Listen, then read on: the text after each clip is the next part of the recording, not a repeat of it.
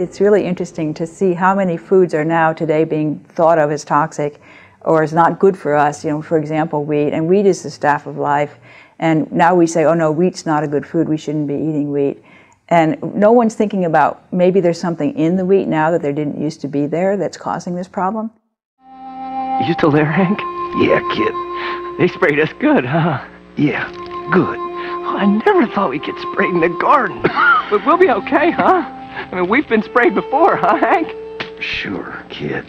But I gotta tell you, my roots hurt real bad. Hank, whoever did this is gonna pay. Hank, they're gonna pay big. Hank, Hank. Roundup kills weeds where others can't. Roundup, no root, no weed, no problem. Roundup you probably have in your garage at the moment or in your tool shed. You probably spray it on your grass. Your sports grounds are probably sprayed with it. Your parks are sprayed with it. Many of our foods are sprayed with it. It's everywhere. Glyphosate is the active ingredient in the pervasive herbicide Roundup, which is used uh, in chemical agriculture extensively and also used on people's lawns. And it's uh, unregulated, um, very poorly monitored actually, and very poorly measured. The glyphosate in the wheat is causing such a train wreck in the body that um, it's no wonder that we can't eat the wheat. We're seeing multiple different problems of the gut on the rise today in children as well as in uh, elderly people. Everybody, really, all ages are being affected. And I think the glyphosate is a major player in that problem. My big concern about Roundup is uh, what it does to the gut flora. And once you've got your gut flora me messed up, then digestion becomes very, very difficult. Now, the argument in favor of using glyphosate that humans shouldn't worry about is because Glyphosate only affects plants and bacteria. Okay? We are 10 times more bacteria than we are human cells. Therefore, glyphosate becomes a major issue for us to be real concerned about. They say we don't have the shikimate pathway as humans, which is what is disrupted in plants when plants get killed by Roundup. We have that pathway through the bacteria in our gut. The shikimate pathway is a process that happens in plants and bacteria and it converts fructose that we consume into a compound called PEP which then through a series of steps makes our beautiful aromatic proteins or amino acids which then turn into our neurotransmitters. 90% of our neurotransmitters are made in the gut.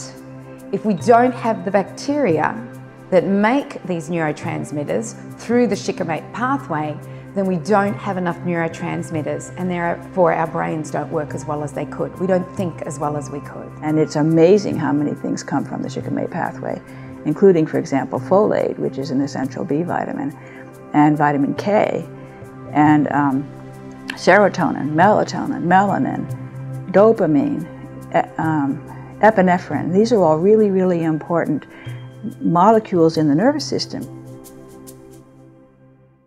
So as my journey continued in the discovery of why wheat could be such a bad thing when we needed it for culture and tradition, and I realised that not only were we destroying the plant and the nutrition of the plant and how we were consuming this plant, but we were also destroying our body's ability to digest it.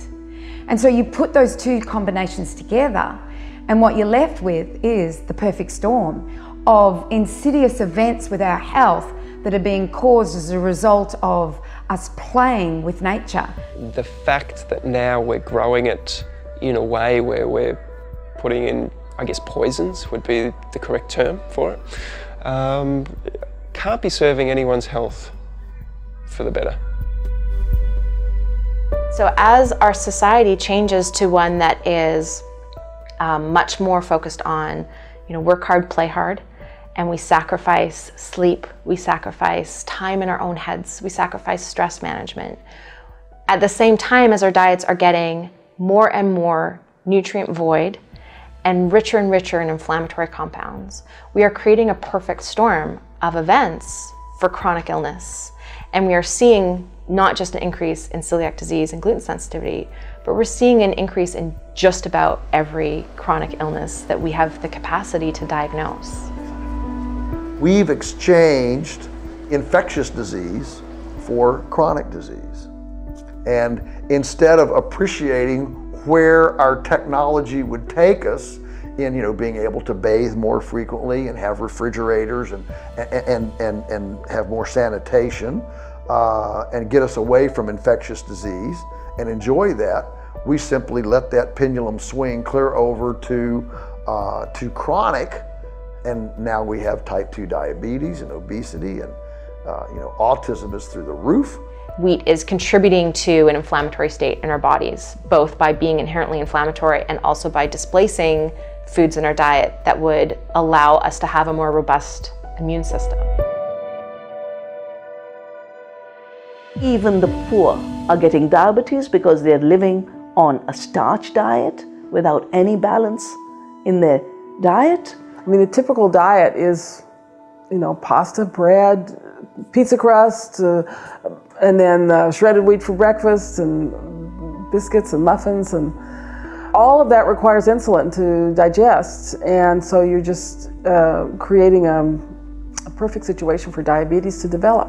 There is an overlap of all these symptoms going on. And these reactions can manifest as any group of symptoms under the sun. It can be a migraine headache, it can be an asthma attack, it can be a panic attack, it can be depression, it can be mood swings, it can be a skin rash, it can be a cystitis, it can be a nephropathy, it can be anything. You just can't continue to douse your food with neurotoxins and not expect it to show up in the human population. Simply thinking should make us head down a different path.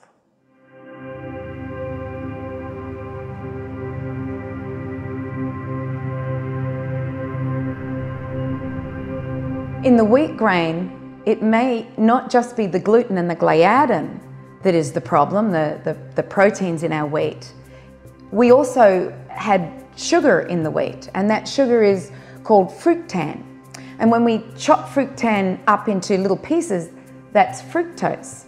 And one of the diseases that we're, or maladies that we're now seeing is fructose malabsorption. We're starting to understand that irritable bowel syndrome is, at least in many cases, is actually fructose malabsorption. So it's actually our bodies not being able to absorb fructose uh, effectively and overfeeding bacteria. So we used to consume uh, large amounts of fructose for all of our existence, but we ate it in complex, in a natural food, such as a piece of fruit, which has millions of other substances in it, and they're all necessary. They all balance each other out.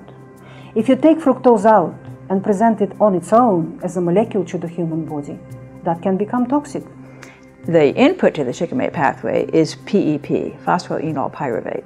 And the step that glyphosate disrupts is the very first step that converts PEP to the next thing in the chain. And PEP is also the output of a pathway that breaks down fructose. So ordinarily, the gut microbes take in fructose convert it to PEP, and then the PEP supplies the input to the shikimate pathway. But what happens when glyphosate's in the way is that PEP piles up. And when PEP piles up, it's going to suppress the ability of the microbes to continue to break down the fructose. So the fructose is going to end up in the lower gut and get processed into fat by the microbes in the lower gut, producing gas, for example. And if those microbes are not sufficient to manage all the fructose that's being eaten, then the fructose is going to go to the liver, and the liver is going to have to process the fructose into fat also. And in doing so, the liver will become either fatty liver or it will release a lot of LDL particles, giving you high cholesterol. Even if we were to, right this moment, just suddenly ban glyphosate, the soil itself would also be an issue because glyphosate in some soils it can last over 20 years.